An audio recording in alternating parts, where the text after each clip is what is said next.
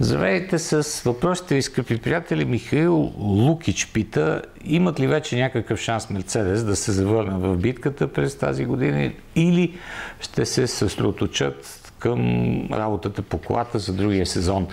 М- значи, това, което от Мерцедес излиза като информация, като м- начин на работа в момента по колата е пряко свързано с това те да накарат тази концепция, която имат в момента наистина да работи на пистата и да стъпят на нея, за да правят колата за следващата година.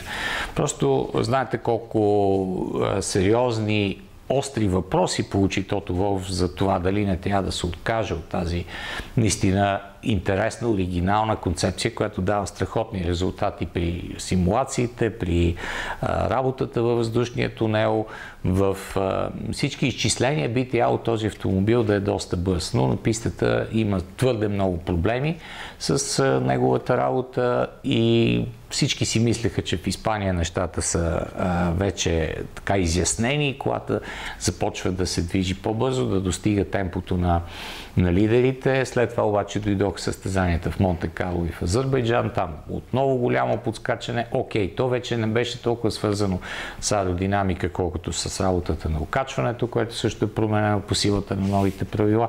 Нещо, за което също писахме в списанието. И а, сега от тук насетна обаче Канада даде отново някаква надежда, че може би тази концепция ще проработи. И вече, изчиствайки всички детски болести, всички неясноти в работата на колата, да започне изграждането на автомобила за 2023 година. Те просто искат да разкрият пълния потенциал на това, с което разполагат в момента и разкривайки го, вече да, да изчистят всички елементи и да направят един още по-добър автомобил, вече силен автомобил за 23-та година. Никой не очакваше това, което се случи с Мерцедес тази година. Те продължават много интензивно, между другото, да работят, да търсят причините за тези недобри ефекти, които има при работата на колата. само в Канада, като си спомням колко интензивно работи Хамилтън, наистина с екстремни, различни решения, напълно различен пот, много по-твърд, много по-така интересна беше формата му с специални отвори, с допълнителна штанга, която след това беше премахната, защото реално трябваше да бъде атакувана от останалите отбори, тъй като тя беше част от а, директивата, която така и не влезе в сила и така нататък и така нататък. Така че Мерцедес, според мен, ще се опитат и вероятно ще намерят една добра работа на колата си в а, следващите състезания. Може би след лятната пауза със сигурност, дали ще използват това време, за да анализират още веднъж и още веднъж всички данни и проблеми, които имат.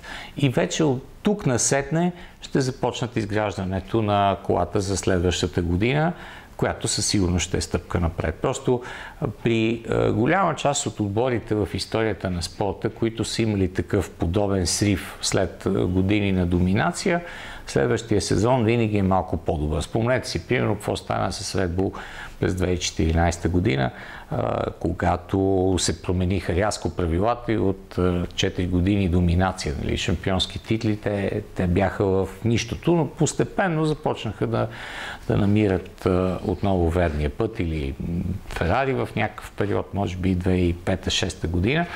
Така че м- има, има го този момент и аз мятам, че Мерцедес няма да избират между развитие на колата за тази година и а, проекта за следващата година, тъй като той ще е един и същ. Много защитава концепцията на Майк Ели от а, Тото Волф. Каза, че да, няма свещени крави, един вид, да, не сме 100% убедени, че това ще е най-добрият вариант, обаче как да се откажеме.